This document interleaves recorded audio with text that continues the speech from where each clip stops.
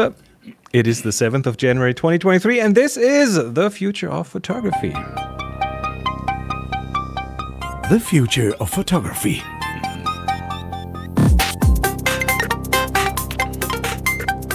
Here we are, back with another episode, and back with Jeremiah, who has been missing. You, we missed you. We missed you, but now we're now we're missing Adrian for change. Yeah, well, uh, the uh, the internet was not as robust where I was. you were in as well. We talked about this here already before. Um, you were in the Antarctic. I was That's even on the continent itself. And, on the uh, continent uh, itself. So you made a you, you did a an expedition on a ship that does I expeditions, uh, and you were there for how long? Were you there? Uh, the whole trip was about three weeks three weeks long. All right, maybe including getting there and getting back. Yeah, maybe a little longer. You know, um, flew to right. Santiago, Chile, uh, which is a, a, city I like a lot. I, have worked there, um, and uh, it reminds me very much of LA in in a in the climate and vibe. It's a very very easygoing city. Then um, we spent a few days uh, there, and then uh, got on a plane and went to Ushuaia, which is in Tierra del Fuego, the very, very tip, where we got on a very um, amazing um, ship, or even super yacht, whatever size they uh, the delegate command, these things. Commandant Charcot. The Charcot, and uh, it's it's with a company called Ponant, which is uh, Ponant is a, a company started by sailors, and um, it, it's very much focused on integration of, say, uh, luxury travel and science, so that the, the passengers are paying for the science. There's labs on board. There's a lot of science um, underway. There's rovers that go underneath the ship to explore the the bottom of the or as, as deep as we can go. Um, and it's an icebreaker, so it, it follows in um, it can follow in the footsteps of Charcot, who's very famous uh, French um, explorer uh, around the turn of the century and beyond. And uh, you know he, he's not as famous as Amundsen and, and the rest of those guys, but uh, he did amazing things. He was very anti-whaling early. Um, he was uh, very much compassionate to the wildlife there, um, had a very different view than most of the kind of economics of the ocean then. Um, so, you know, we set sail basically to follow the footsteps of Charcot and where he um, where he, he kind of sailed and where he explored. Um, though we didn't have to, you know, uh, be frozen in the ice for nine months. we continued. That simplifies was, things slightly. Yeah, it was a little bit easier for us, and and uh, you know, we, no animals were eaten on our ship. Um, the ship was pretty amazing in that it, you know, it had a um, a complete uh, desalination plant, water purification, gray water recirculation, absolutely liquid hydrogen run. Um, leaves absolutely no footprint there. Um, uh, so it's it's very advanced. It was only its second voyage, and um, you know we we uh, we got to know the captain. The bridge is open, so you can just walk mm-hmm. on and off the bridge, uh, and the the actual bridge itself is it's like uh, you know Star Trek. You know uh, the, the there's no kind of twin rudders pushing it. There's six 360 degree turrets, basically. They're pods, each one with a very new design propeller, um, which could swing in all manner of ways. And in reversing the engines on one of them, it beca- becomes an ice crusher. So, uh, you, you know, being on the bridge and watching the captain navigate, you could navigate this like a canoe, like hmm. with joysticks. Absolutely unbelievable and also spent time with the engineers who were involved in the design and, and construction of the ship uh, wow. over the course of the of the voyage. Uh, so it was um, it was amazing. They're building another ship that is hydrogen powered, and that will be launched, I think, in a couple of years. So that so that satisfied your your tech nerd side uh, for sure. oh, uh, yeah.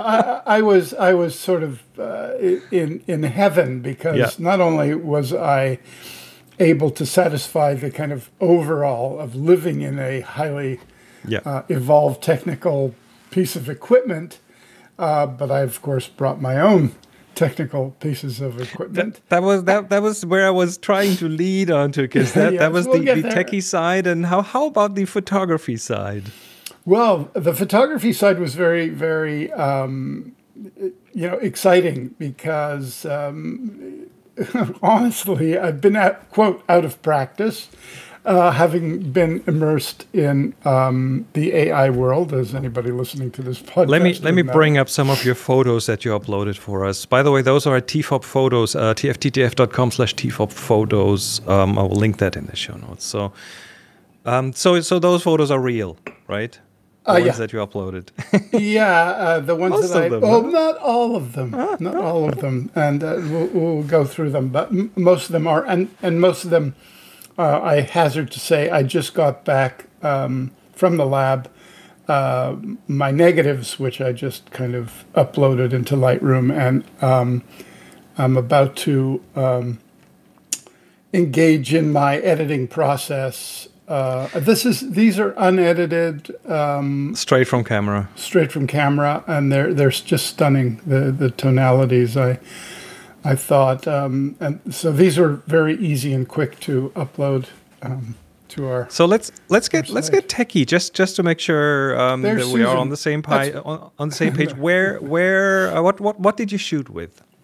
I shot with. Uh, well, I I brought a uh, small Canon uh, camera that was made for Japan. It, it's really like a a monocular that that can capture.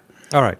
I, I use that infrequently because I, I don't really consider um, my wildlife photography as anything uh, terrific. You know what I mean? There, there were Oh, same with me. It's uh, yeah. and, and and they you know they tend to look like everyone else's you know it's like it's a penguin. It's great. It's a cute penguin. But but you know if you're not using an 800 millimeter you know canon lens on a tripod you Kind of need that. Yeah. you know so so that isn't really I'm, I I I feel very much you know a landscape photographer um in, you know in my heart. I love that. Um so I did I did bring that uh, again more for optics than for anything else. I brought my Leica Q2 um which I used um maybe 25% of the time maybe 30% of the time um that shot uh, is probably done with an iPhone. Um, and and Of course. shockingly, Yeah. shockingly, uh, the iPhone images on the 14 were so good. Shockingly good. Yes. I mean, You know, the the, the This is um, this is probably a Leica shot. But By the way, we, we were talking about images, so this is a video episode for sure. Right. Everyone who's listening, we're, we're looking at some images here. but but the, a combination of of, of uh, the Leica, which I could hold near and dear, uh, strapped to me. The scary thing about using an iPhone uh, is like, first of all, now this one uh, we'll get to this. Well, well we'll get to these. Yeah. Yeah. Um, the scary thing about using an iPhone is, of course, it's the Antarctic. You're not barehanded, and it's clumsy, and the ergonomics are not. You know, great. there's there's there's a there's a there's a little helper which is um, Yeah, I know. uh, uh, well, first of all, a strap that you can put around your wrist, so and then attached to a case around the iPhone. There's a little a little. oh, I, I happen to have one here. There's a little swimmer, little uh, uh, uh, life raft for your for your phone.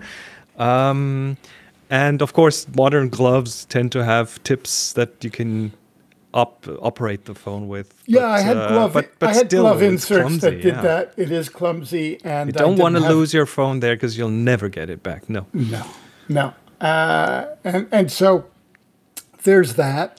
Uh, and I brought a, a, a Fuji uh, 6 by 9 with uh, 10 rolls of 120 film. So I, Right. I shot as large a negative as I could um, without carrying around a 4 by 5 highly impractical, without a expedition team to help you out. So Well, Um, you don't have to do glass plates. I, I did I did a digit I digitized 180 glass plates over the holidays. So we'll talk about this in, Yeah, a, in another sure. episode. But that was quite a project. Yeah.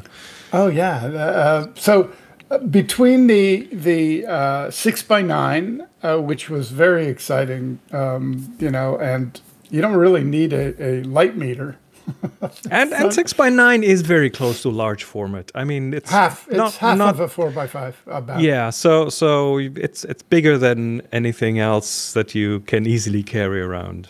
Yes, I'm very happy with the negatives I got back yesterday. Yeah. So um, that was fu- so. It, it was a real um, mixture of formats, a mixture of techniques, um, of gratification, um, and uh, as I go through them, it'll be interesting to see what kind of plays. Um, funny, which uh, I. My instinct is that the Leica was the least satisfying uh, even though it's my absolute favorite camera. Satisfying in which respect? I, I'll, I'll explain one of the problems that um, that I encountered that was very surprising is, especially when you're on the continent, which is, ex- I mean, it's very bright, shall we say? Yeah. It's very, very bright. Uh, it's hard sunlight. And you are, I mean, you really have to wear very, very intense either goggles or, or uh, sunglasses. Um, just But well, and just to not go blind over time. exactly. Yeah. So, so um, getting your eye to the eyepiece was challenging, to say the least. Number Well, at, at least it seems to have have had an eyepiece because if you are just using the display on the camera, that no, there's no way to. you can't see because No, it's you, super you have glare. you have dark glasses and uh, the sun is and that that thing is trying to compete against very very bright light. And unless your your uh, eyepiece is directly against your eye, um, it's very very the, the flares and and the the exterior light is very very difficult. Um, so that was very challenging. Um, if if it clouded over, then I, I was able to kind of drop my glasses, get my eye up to the viewfinder, which was much more satisfying with the um, iPhone, oddly, it's a very bright screen, and even in hard sunlight, I could compose uh, pretty effectively. And and uh, oddly, that was um, something that I, I kind of felt surprised with the, the differences in working in kind of harsh light, a lot of glare with glasses, sunglasses in particular, um, and goggles So- if you needed them. being on a ship most of the time I, guess you did expeditions on land but um, being near the ship all the time that means that you didn't have any bigger issues with with the cold because you always had fresh batteries and stuff Yeah, well, it's not a problem. Um, also, the the camera. No, the, the, I never had any battery problems with anything. you were also quite lucky with the weather i, I heard um, we were very lucky with the weather. We'll talk about that in a moment. But we weren't that close to the ship. I mean, you know, we we would uh, we would, you know, kind of be on or near a glacier on very very dense ice, often up to thirty feet, um, Right. sometimes four feet, sometimes you know, but enough. They they would take core samples, they'd drill it, they'd uh, you know use radar lidar to to make sure that the ice was uh, reasonably stable. Uh, the team would go and mark the safe zones so you didn't fall through any cracks, and then off we went. And we were told, you know, see you back in a few hours. We we spent um, most of the days uh, off the ship, whether it's in zodiacs, landing on islands, or or hiking. It was Good. not like uh, cruising, if you know what I mean. Like Yeah. obviously crossing the Drake's Passage, which we'll talk about. You're on open sea, and as you navigate around channels, you spend time navigating. But the the point of the this particular um, sailing is to get as close and as um, uh, not only as close to the land, but explore areas that that are very um, unexplored, landing on places that there's no record of, of a ship going. And of course, the penguins, which have no predators on land, they're all like, wow, look at these guys. Who are they? Hello, people of Earth, and welcome. And and they and we have to be very very careful not to get more than five feet away because you don't want to give them any human diseases.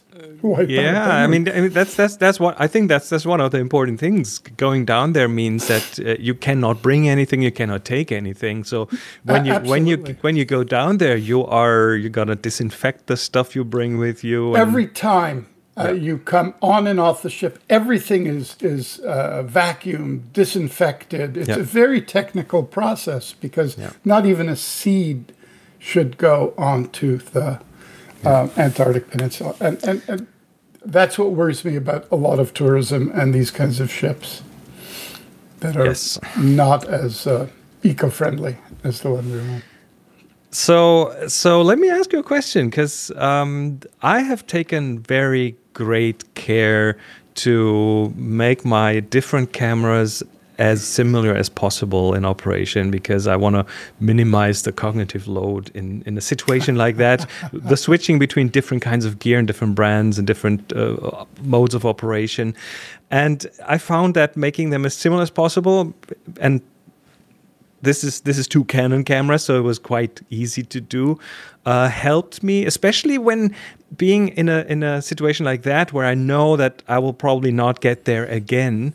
Um, I I see myself often switch into this uh, hunting hunter's mode, you know, and then the, the the great care and the great thinking about this and that picture uh, kind of goes in the background and makes way for a bit of a more of oh oh I got oh got it I got it I got it I got it and then you end up shooting more than you would typically just because you have the feeling that that's probably a once in a lifetime chance. Yeah, I didn't really. Um, I, I, luckily I don't suffer from that uh, particular affliction. So, um, but but I would, depending on what the day was like. So, for example, if we were um, going to be running through, you know, hundreds of icebergs at reasonably close range uh, safely uh, on the water, I, I, I wouldn't take my six by nine. It was too impractical. I, uh, And that's the kind of situation I mean, because you end up seeing things that you uh, haven't been that close to before, and you and you come around a corner and you see something that's that's even more amazing, and Yeah, then something that's even more amazing. So so it's more like, oh, I got to capture this because this might be the most amazing thing that I've ever seen, and then you Yeah, and uh, Yeah. so uh, you know, if I knew what the conditions were, like if I needed to be very, very physical, Yeah. hands-on, whatnot, then generally I would take very light gear. Um, that I would uh, just like my the Canon was very interesting in that uh, it could just slip in my pocket. It was very Yeah. very small. It was very point and shooty. Um, and I would sometimes use it just to stack up some images, but but infrequently. Uh, the iPhone was always with me, so that always was a go-to. Uh, but if I if I had if I needed say one hand, the Leica would do. If I needed two hands, then the iPhone would do. If I because I could slip that into my pocket. If I if I was on on land on a high, you know, on a hike, on a walk, then I could take the six by nine and compose and, you know, get my eye close and, and be more Right. formal. So I judged it basically on what the particular expedition would be that day or or that afternoon or that morning. Uh, and that's kind of how I did it. And of course, once on the ship itself, because we were navigating some extraordinary, uh, just incredible passages, um, that I was able to use the the six by nine just right at the you know at the top of the hull. There weren't that many people, so I could get a really stable composition. The ship was moving maybe five or six knots, so it was, and the seas were calm. So, in that way, I was able to do some formal work. Um, I did bring a tripod, but it was silly because the the light is so bright. I was rarely shooting under 500 or, or 250th. Uh, uh, and know, the, and the ship is and the ship even that size is a moving platform, so the tripod will help you keep the ship in focus. Uh, yeah, it was a silly thing to bring, and uh, you never know. You never know. I didn't, uh, but my next trip there. Well, you know, you know the the um, the Antarctic has its aurora, and shooting that at night. Did you get any? no nights. Phenomena? We, we were at the height. Oh well. Oh oh. Have sorry. So of course you didn't have any nights. Yeah, we didn't have any darkness at all Yeah. when we were there, uh, which is. Uh, Did you have good curtains? We had very good curtains, and sometimes you know you'd wake up at two in the morning and go like, "God, I wonder where we are." You know, be blinded Oh by yeah. the lights. So. I've ex- I've experienced that in uh, Norway, up in the Lofoten, and it it's it's very dis uh, it, it, it's very confusing to not really get the the feeling that oh I should go to bed, and then you look and it's like oh it's three a.m. What happened? And yeah, it's. Yeah. But you get you know you get into a rhythm because you know you want to be you have to. You have to because you know you want to be um, ready to kind of uh, disembark whenever it's um, it's right. I mean, they would, you know, they would go al- along passages, then they would bring up a small helicopter. They they'd scout the particular areas for navigation or or groups of penguins, seals, whales, and uh, depending on the weather and where it was, uh, where all of these things converged, captain would go like, "Oh, we just spotted this really rare colony of emperor penguins, and we're going to head there. We should be there in about an hour, uh, maybe two, And we would cut through the ice, and then they would, you know, do the expedition, make sure it's safe, etc. Or we'd get on zodiacs to land, which is in and of itself some of those places that we went very tricky landing. I mean, you know, especially if the seas start to kick up, there's Yes. no docks. It- you know, it's it, it, it's a whole process of, of not getting into the water. And the, the thing, okay, so I, I don't have Antarctic experience, but I've been plenty to the Arctic, and Should be um, the similar. the th- well, in some ways, yes, but the the one thing that on my first uh, on my first expedition up there, the thing that that amazed me most is that yes, there are uncharted waters, yeah, there and are. you would you would think that Earth has been measured, like every inch has been measured and and, and cataloged and documented. No, it's that's not the case. There's a lot of areas where a ship doesn't know how deep the water is, and you have to be careful, and you have to use your sonar, and you um, you don't have maps for everything, and things change. So Yeah, uncharted waters is a, is a real thing. Yes. It's particularly true in the southern polar regions because in the north, of course, they were using it, you know, the, the you know, for for trade and they were There's shipping routes. get- there are shipping That's routes. yeah. right. But there's there's no quote reason to go down to the southern pole, and there, you can't whale, you can't fish. Right. I mean, it's highly, highly, uh, which is uh, amazing that it's been able to maintain that level of purity. Um, they were measuring the water daily for microplastics, and as of uh, now, they, they have not found them Well, where we were. There's yeah, and there's there's fewer um, microplastics in the Antarctic than there are in the Arctic. because of currents, Um, etc. well, because of currents, also because of uh, the majority of people live in the northern hemisphere, and uh, so on the one thing that the one thing apparently, and um, we talked about this on on Curiously Polar on the other podcast that I do. We talked about that. Uh, the, the one thing that you find everywhere apparently is um, rubber from car tires.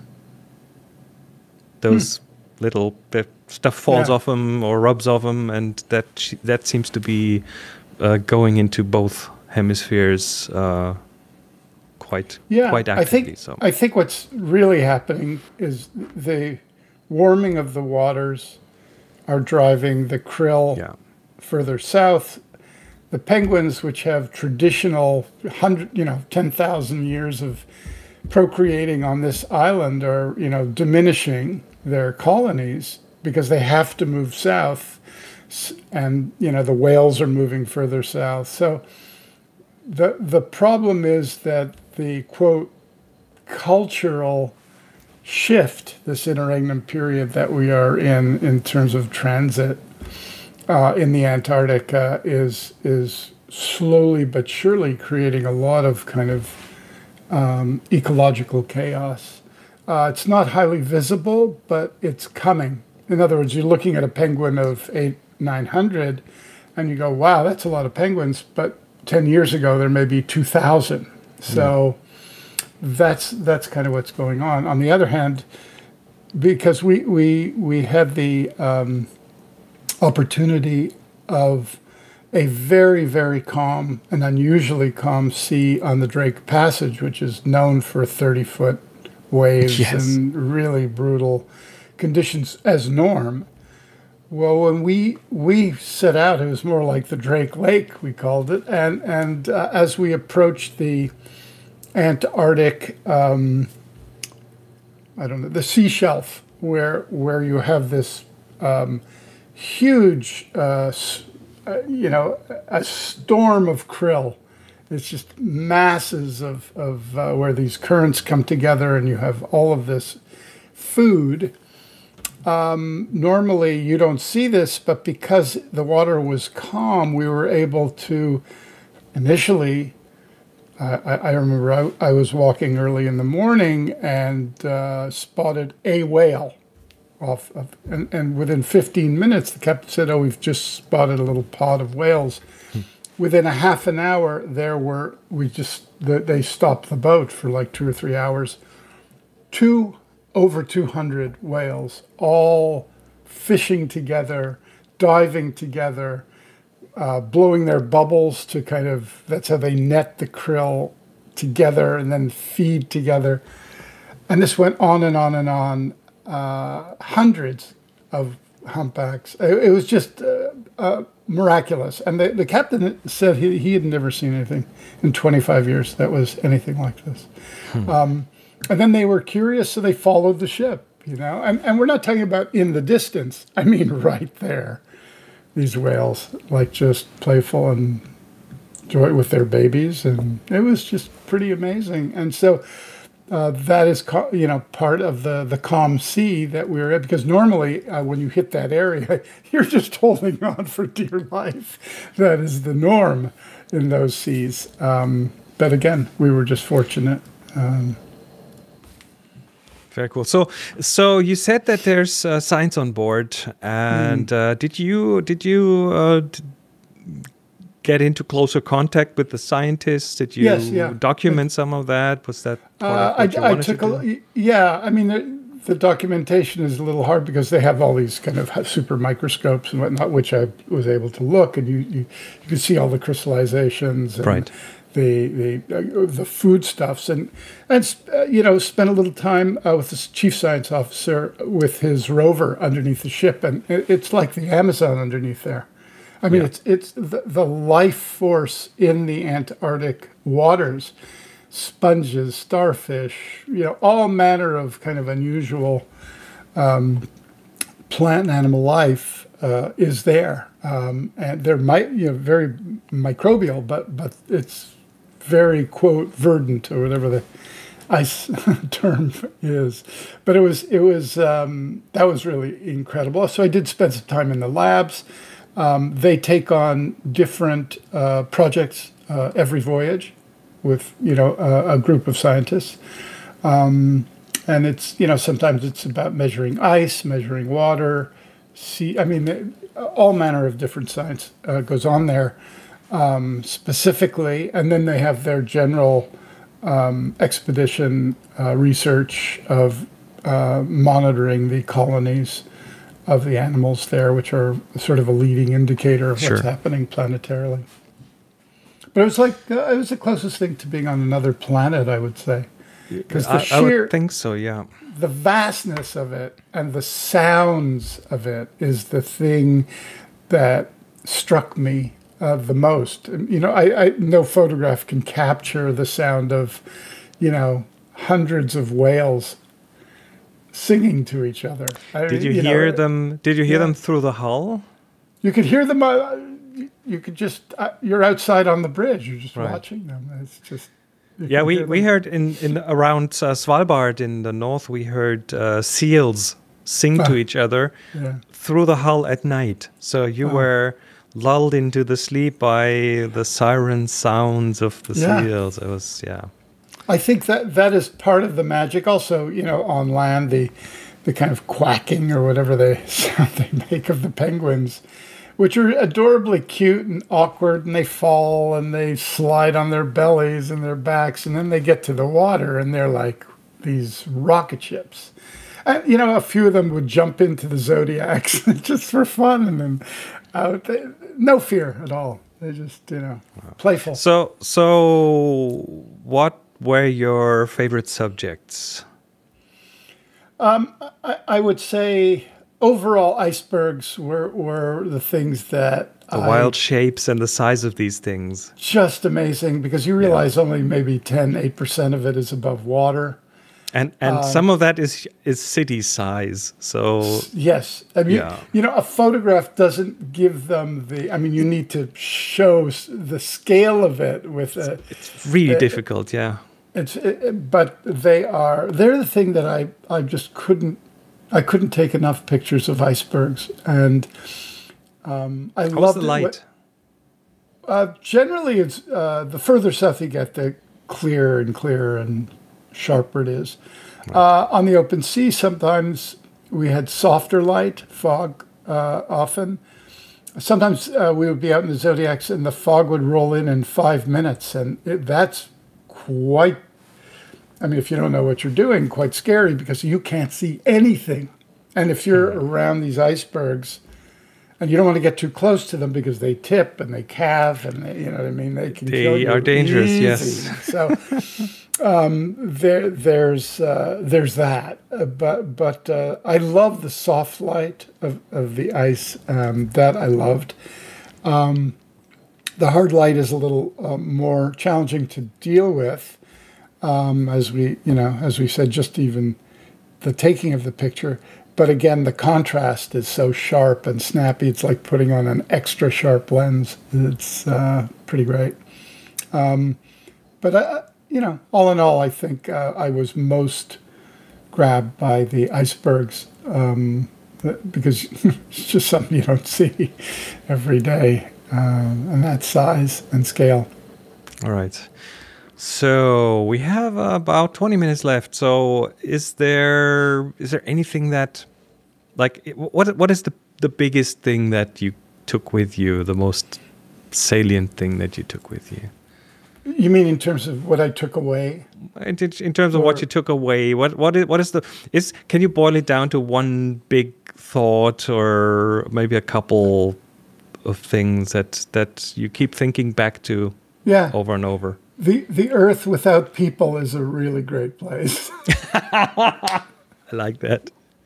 I, and I'm, I'm not being facetious. I, I'm saying, you know, you're in a place that is majestic, awe-striking, beautiful, magical. The relationships of the animals together, the birds, the seals, the penguins, the whales, that ecosystem under the water, over the water, ice. Uh, there's no governments. There's no time zones. There's, you know, uh, there, there's just a purity of the planet that once existed everywhere. Um, and, uh, you know, I fear this is one of the, the, the last fading beauties of our, of our planet currently.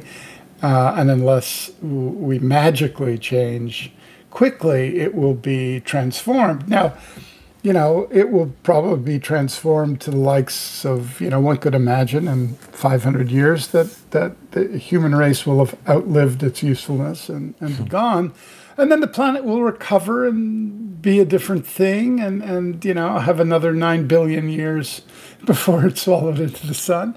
Um, but, you know, uh, again, the appreciation of the purity of, uh, of the real majesty of our planet uh, without humans is something that you embrace, and yet the the irony is you're a human, you're there, and just by being there, you're transforming it. So there is some hypocrisy in in my sort of loving attitude here. Ah, so were there any moments that stand out? Any any time spots in time there? He, here's the thing you think every day, well, this is just it, right? This is just amazing. And then, as you said, two hours later, there's something even more amazing. And that just happened every single day. And the people on the ship were, were all sort of of a piece, very international. Um, few Americans, few Canadians, but a lot of uh, mainly French, I would say half French. Yeah. Uh, the boat was French. But, you know, Chinese, Indian, Dutch, German, I mean, just people from all over who all had the same sensibility. It wasn't, they weren't there, quote, to have a great time. They were there really to observe and, and embrace and encounter and capture and have that feeling.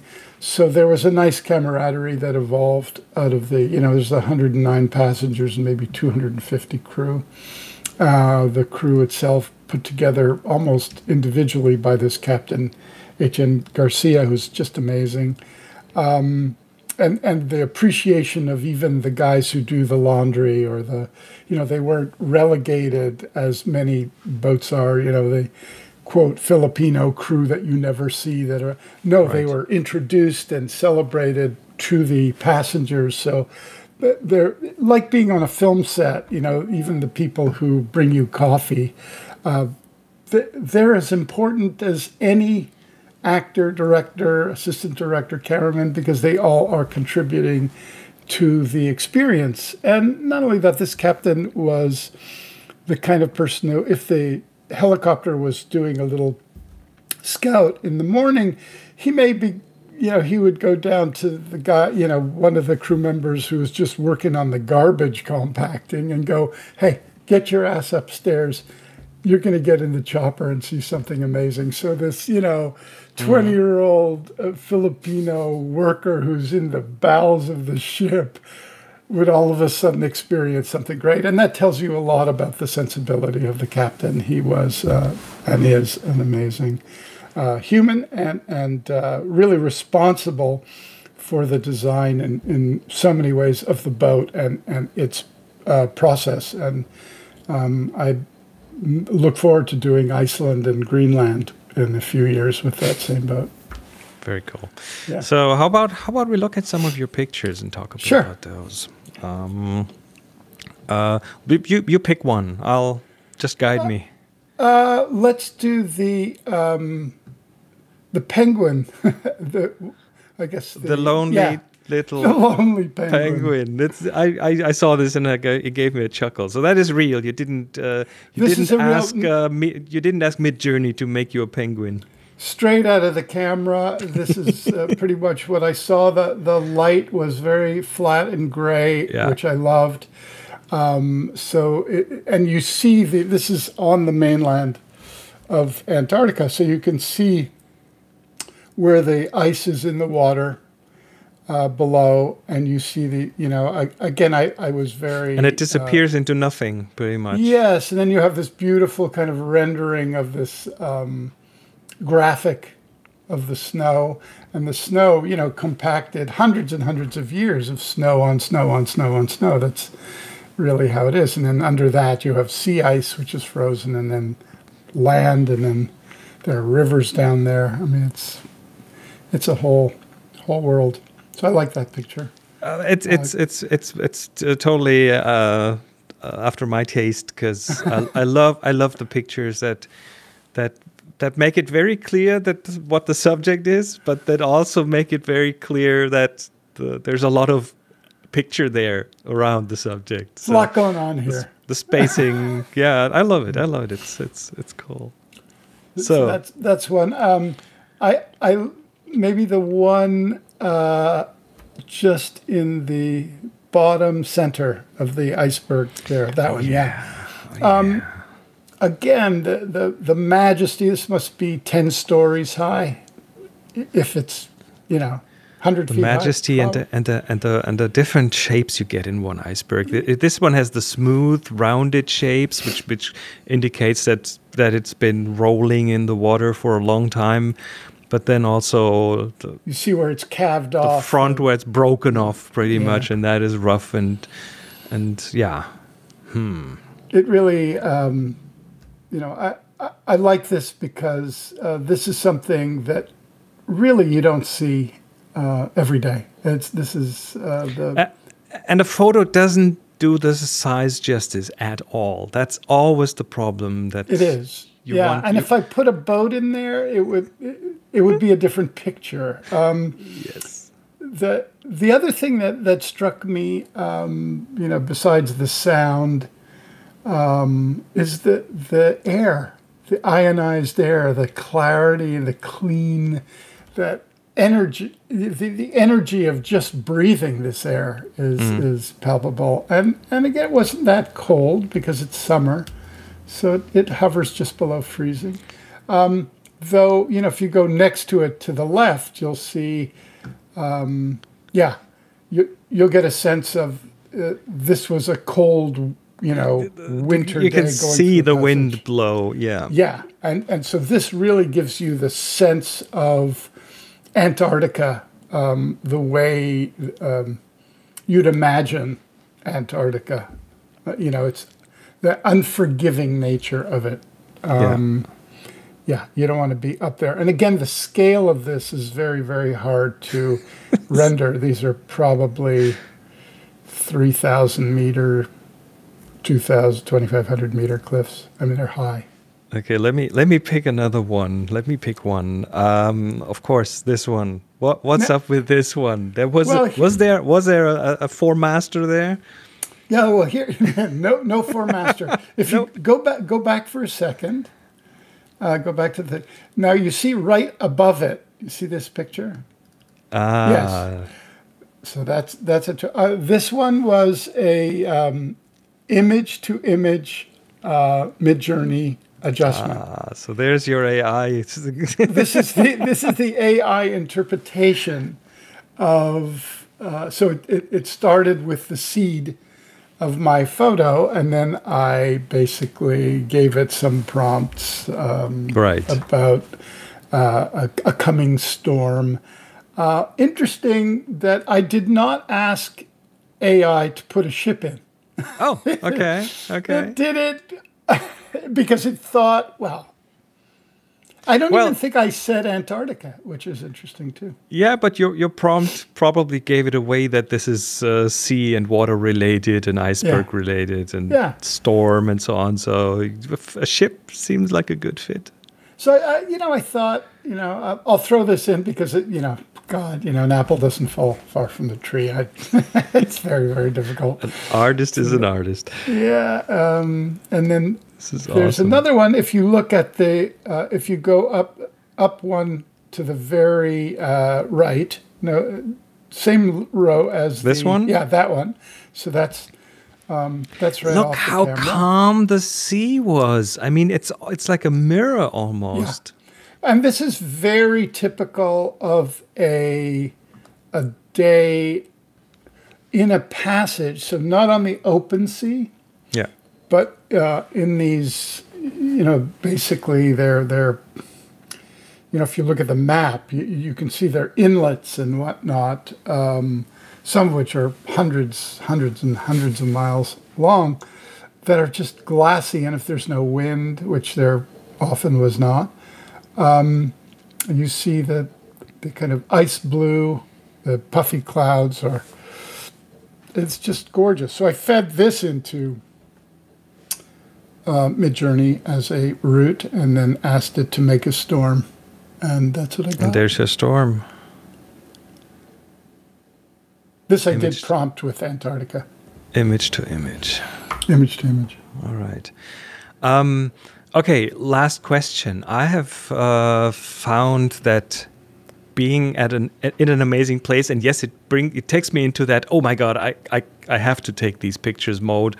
Um, and in some of for with with some of those places, I had the opportunity to go back and shoot again.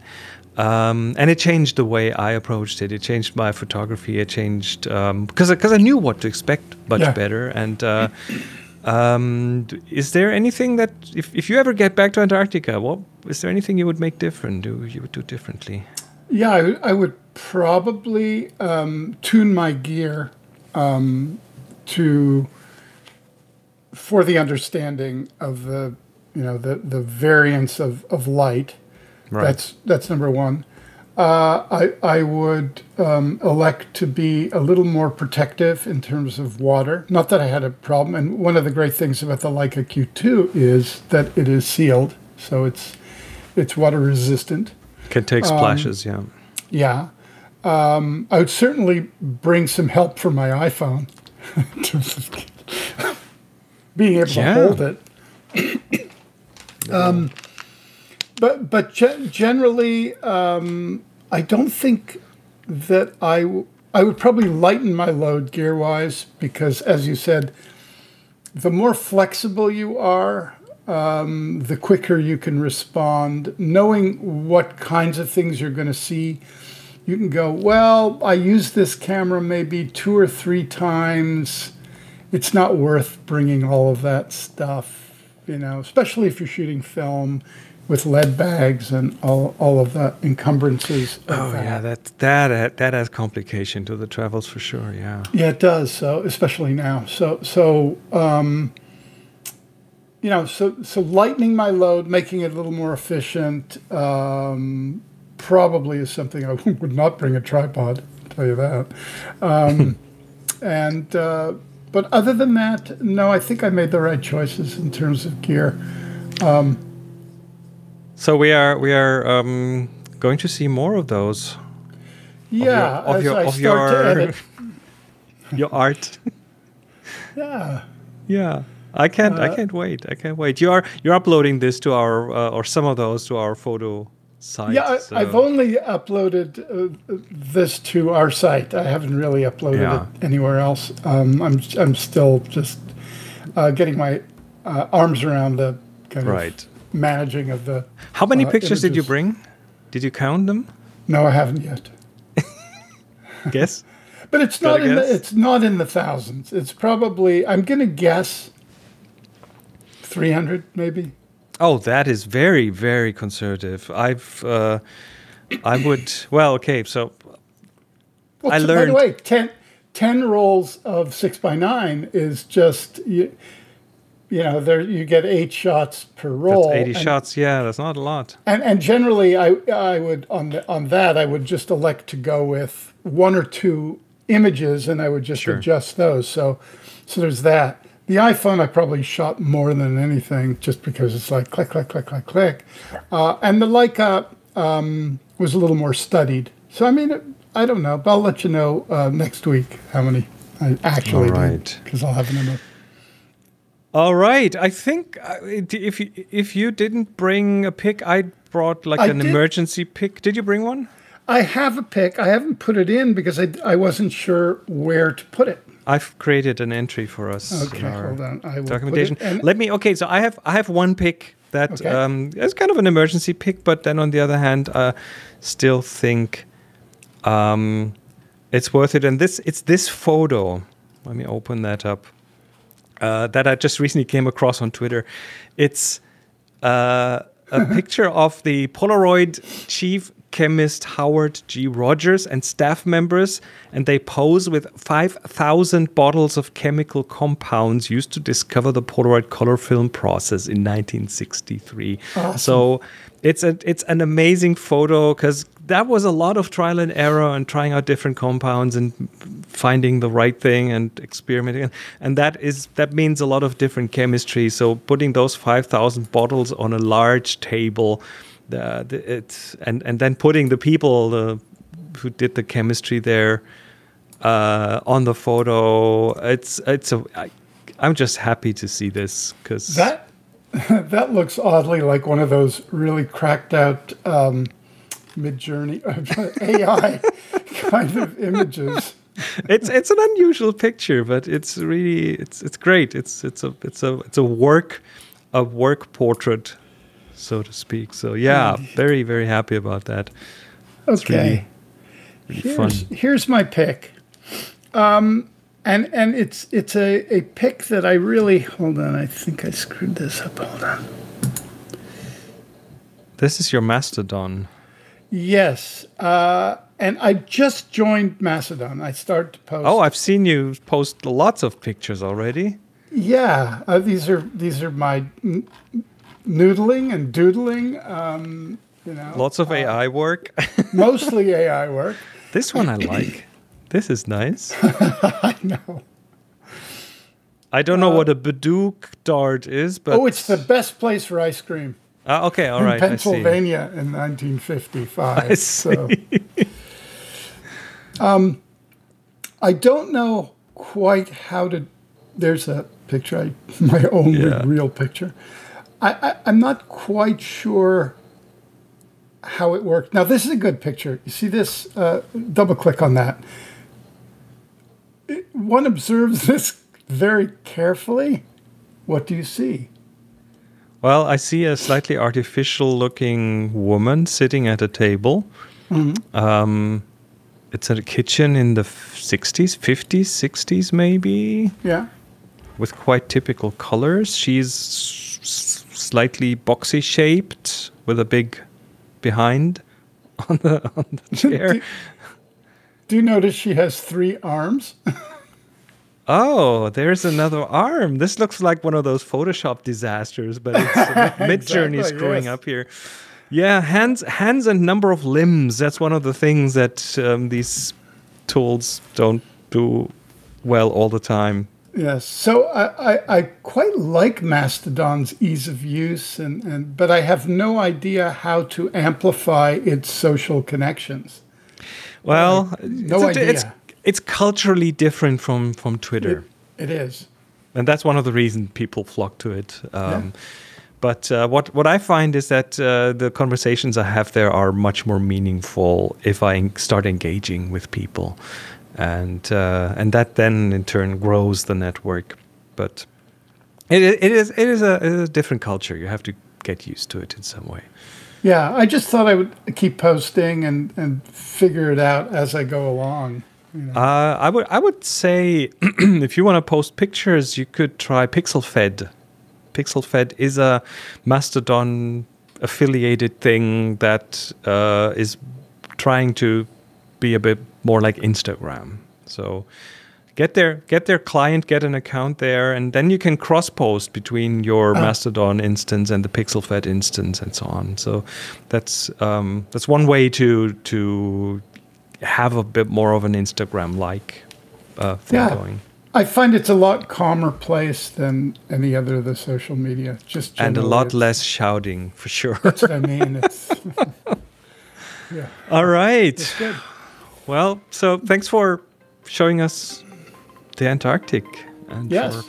More to talking come. about your adventures. I'm I'm go- I'm I'm, I'm going to get you on Curiously Polar because that's where I talk about these things with uh, an expedition with two expedition leaders, one being an ice specialist and the other being uh, a marine uh, biologist. So It, it would be great to dig deeper, no pun intended. we'll we'll go to uh, if and by the way if anyone's interested curiouslypolar.com is where you find that part of my podcasting uh thing. Anyway that's it for this week. Thanks everyone for being here. And you can of course find more at curiously uh at thefuturephotography.com see you then. Take care. Bye. bye bye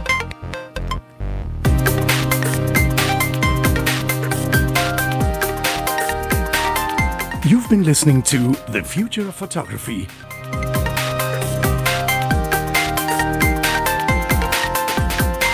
Subscribe to the show wherever you get your other podcasts.